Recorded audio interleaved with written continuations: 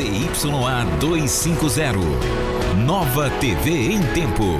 Uma emissora afiliada ao SBT.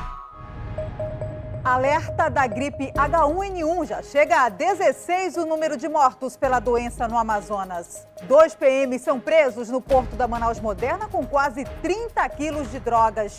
Na Zona Oeste, homem é preso suspeito de matar a ex-companheira e enterrar o corpo. Ele não aceitava o fim do relacionamento.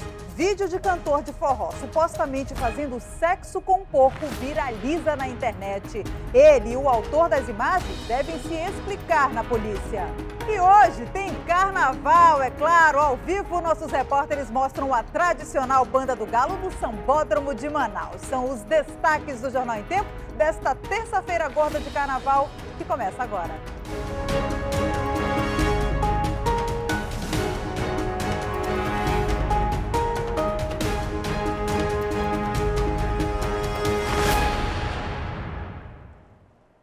Olá, muito boa noite para você.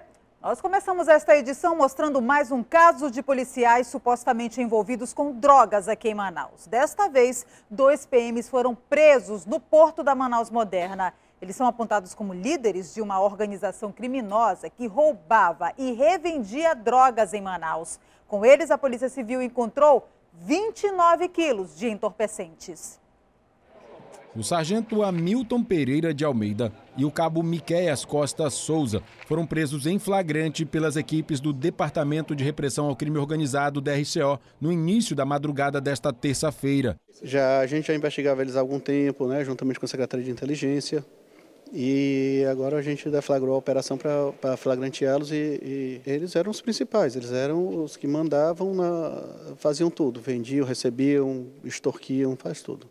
Além dos PMs, foram presas outras quatro pessoas e mais dois adolescentes que vinham de Coari com a carga de entorpecentes. Os jovens integravam um time de futebol que disputaria um torneio em Manaus. Os 28 quilos de maconha e o tablete de cocaína estavam em malas e caixas. A quadrilha foi presa no momento em que deixava o porto. Os PMs estavam fardados. Eles já são acostumados a fazer esse tipo de situação. Toda droga que chega, eles têm informação, eles vão lá extorquir, também tomar e, faz clínica geral.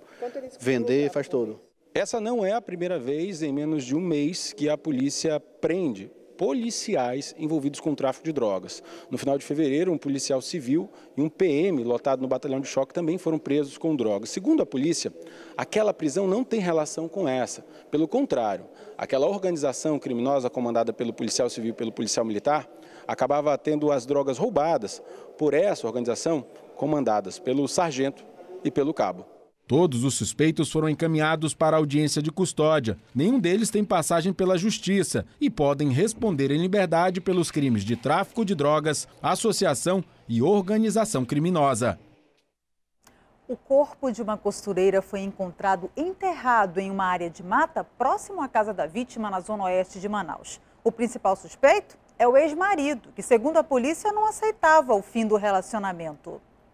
O corpo de Solange Gama da Silva, de 43 anos, foi encontrado enterrado nessa área de mata da Rua B, no bairro Campos Sales, zona oeste de Manaus. A vítima era costureira e morava nesta casa, em frente ao local onde o corpo foi enterrado. Segundo informações de familiares da vítima, Solange teria desaparecido por volta de 5 horas da manhã desta segunda-feira. Depois disso, os filhos passaram a procurar a mãe. Quando eles deram falta de uma pá e uma enxada dentro da casa, eles tiveram a imaginação de procurar na área de mata. Foi quando eles encontraram a mãe morta.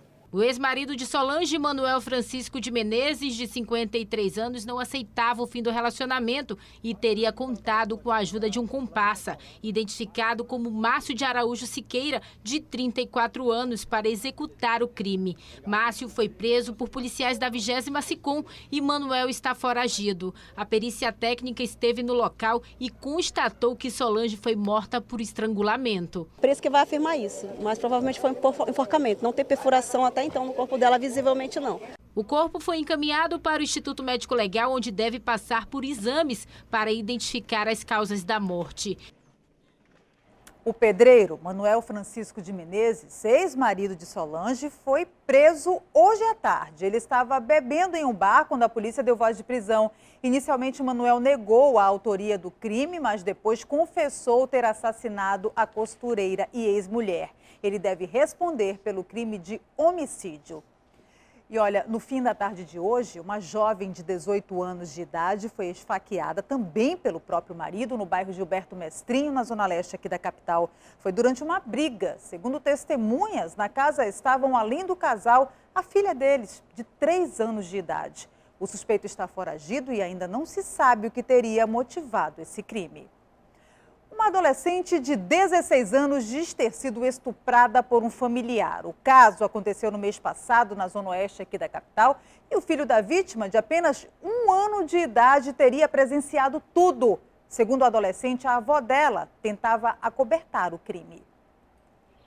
A jovem, que tem um filho de um ano, estava de férias na casa da avó no bairro Liro do Vale. Ela foi atacada no momento em que não havia ninguém em casa. O crime teria acontecido na frente do filho de um ano.